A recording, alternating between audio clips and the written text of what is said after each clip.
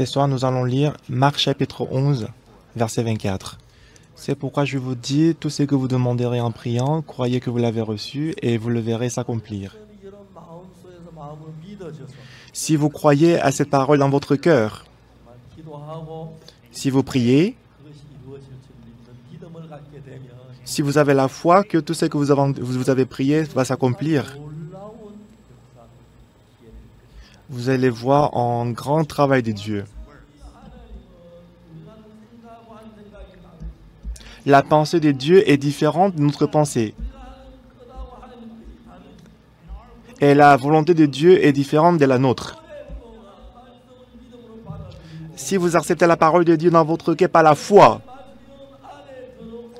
si la parole de Dieu entre dans votre cœur,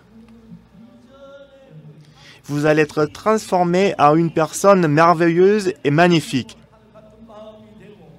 Donc, à partir de ce moment-là, vous allez avoir le même cœur que Dieu. Qui que vous soyez, Dieu travaillera puissamment dans votre cœur. Jésus-Christ, il est allé à la maison de Jairus. Selon nos yeux, la fille de Jairus était morte.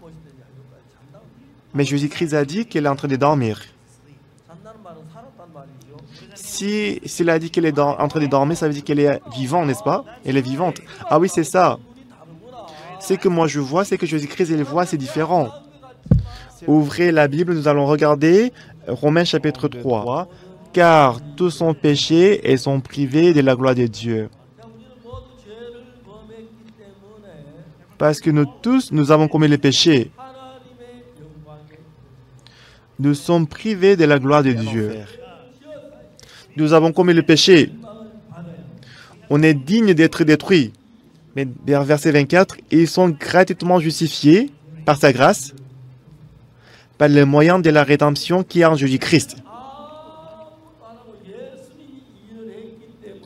Nous n'avons rien fait, mais parce que Jésus-Christ a travaillé pour nous. Jésus-Christ nous a dit, nous sommes justes. Et nous sommes justifiés par Dieu. Ça veut dire que je n'ai pas de péché. S'il m'a justifié, ça veut dire que je suis propre. Jésus-Christ est mort sur la croix. Jésus-Christ est mort pour nos péchés. À travers la mort de Jésus-Christ sur la croix.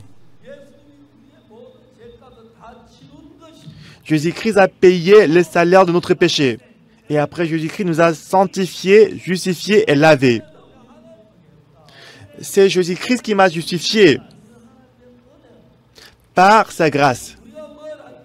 Ce n'est pas nous qui avons travaillé. Sans condition, Jésus-Christ a travaillé pour nous. Moi, je pense que je suis pécheur, mais Dieu dit non, tes péchés sont lavés. Je te déclare juste. Tu es saint, c'est ce qu'il m'a dit. Est-ce que c'est ma pensée qui est importante? Non, c'est la parole de Dieu qui est importante. À travers la mort de Jésus-Christ, il n'a pas effacé quelques péchés.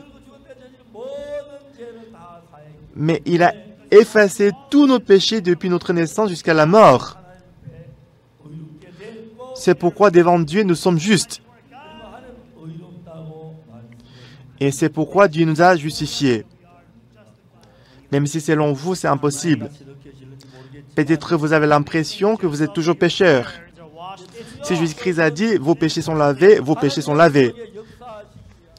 Romains chapitre 4, verset 25. Lequel a été livré pour nos offenses et est ressuscité pour notre justification.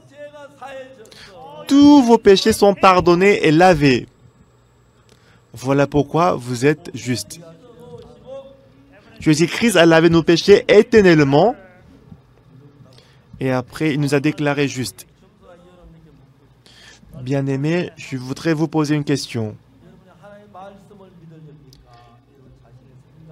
Est-ce que vous allez croire à la parole de Dieu ou bien vous allez croire à votre pensée? En Corinthiens chapitre 6, verset 10.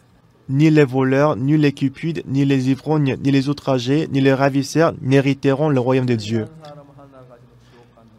La parole dit les gens qui se trouvent dans le verset 10, ces gens des personnes ne pourront pas aller au ciel, ils vont aller en enfer.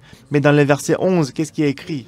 Et c'est là que vous étiez, quelques-uns de vous, mais vous avez été lavés,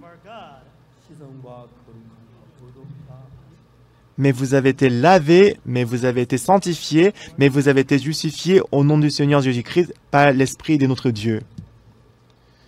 Bien-aimés, jusqu'à présent, vous avez cru à votre pensée.